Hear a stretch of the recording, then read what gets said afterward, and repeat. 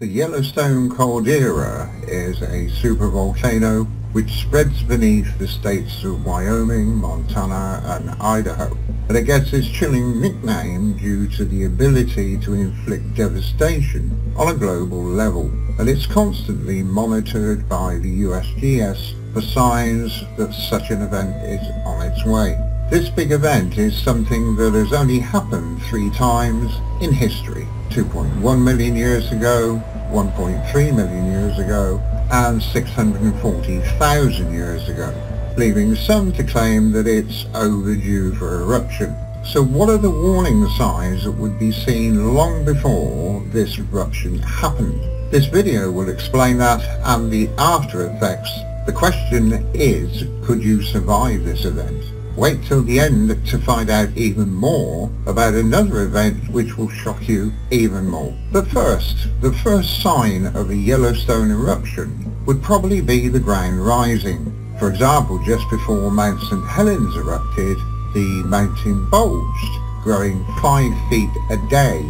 A similar kind of uplift would be likely at Yellowstone anywhere between 5 and 10 feet over a number of days.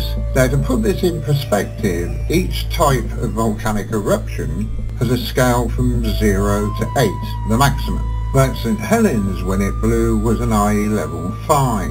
Yellowstone is expected to be an IE8, 10,000 times more powerful than Mount St. Helens. Now in Yellowstone it would probably lift the whole caldera, an area the size of Houston and Dallas, 10 feet or more into the air. Weeks or even months before Yellowstone super eruption, these warning signs would trigger the biggest ever of all evacuations.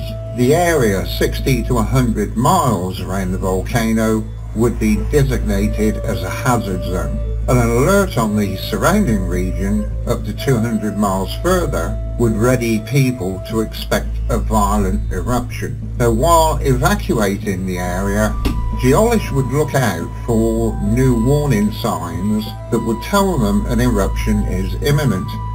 So the people in the government, aid agencies and FEMA could be more prepared. Earthquakes produce distinctive waveforms on seismographs, and the cracks of rocks fracturing create a signal that starts with a sharp rise and then fades fairly quickly. Yellowstone has hundreds of earthquakes each year, but it gets worrying when it reaches two or over. This year alone, this has been the trend. On the 4th of March, 3.3. 29th of May, there were three 2.5s and 2.8 on the 6th of June 2.6 and on the 15th of June a 2.8 and in August just gone on the 21st it was a 2.5 so is this a sign of something happening? Long before an eruption swarms of earthquakes would sweep the hazard zone and the surrounding area. Now just before a volcanic eruption the signal produced by regular earthquakes, as shown here, would give way to a new signal, a long, continuous vibration as the magma rises, making the sides of the now cracked rock vibrate. Now scientists call this a harmonic tremor, and it's the last warning that you get. It's what magma racing to the surface would look like. For anyone stupid or foolish enough to remain in the hazard zone, the chances of escape and survival would be slim. Then the eruption happens, which is bad enough. But then comes the shockwave, knocking down trees, damaging property, etc. But the worst is yet to come. Huge quantities of searing hot ash mixed with rock and magma and gas will hurtle down in all directions as a pyroclastic flow. With temperatures of 1500 degrees, there will be nowhere to run or to hide. You will have left it too late. Falling ash would cover half the United States, reaching Denver in approximately 24 hours. Ash in rivers would turn it into a lahar, clogging pumping stations, nuclear reactors would have to shut down, as they could not get clean water from the rivers to cool them. There would be no fresh water. Transport would stop because of ash falling. No electric. Hospitals couldn't operate. And even looting might take place as food runs out. This is a disaster on a biblical scale. Yellowstone could be pumping ash into the sky to 10 miles or more. And even people a thousand miles away would have falling ash and could die if they breathe in that ash. Volcanic ash is rocks that have been blown apart into tiny, tiny particles of glass with jagged edges. In 1815, Tambora in Indonesia had a super eruption.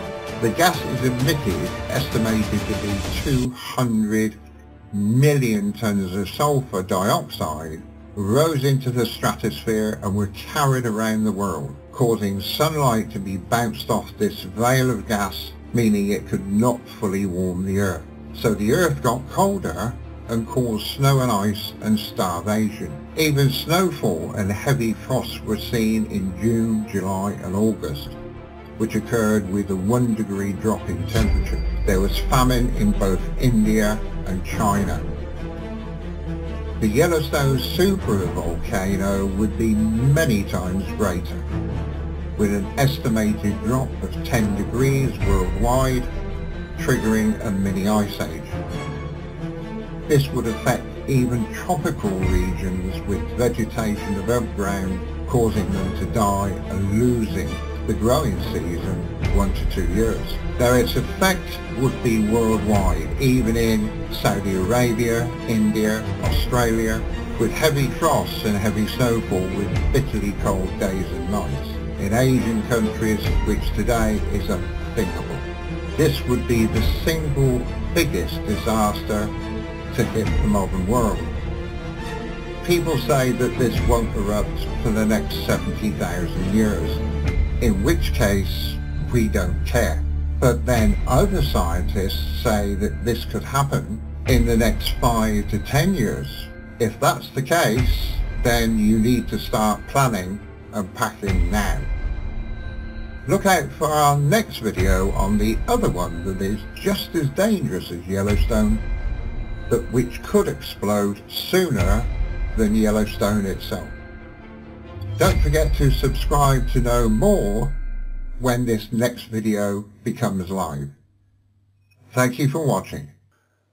I've been watching Yellowstone since 2014 and collected data on Yellowstone all the time. Now, in a year, I might get two or three alerts in the whole of the year. What happened on Thursday the 10th even shocked me. Suddenly, and apologies for uh, the delay in putting the original video up, but this was important that I had to get it on this video. On Thursday the 10th of this month, the alerts first came in at 12.46.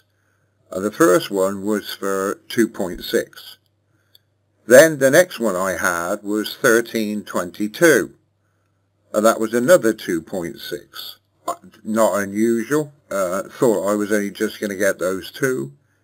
But then at 1347, another one came in for 2.7. Then at 1354, a 2.5. 1410, another 2.5. 1425, yet another 2.5 and at 1431, I got a 2.8 alert come in. 1530, a 2.5. 1938, a 2.5. And then finally at 2153, a 2.8. A total of 10 alerts in one day. I've never experienced that since 2014. That is worrying. Does it mean that the lava is pushing up through the cracked ground, heading towards the surface? I don't know, but it's certainly something I'm going to keep an eye on, and it's something that's interesting for you. Thank you for watching.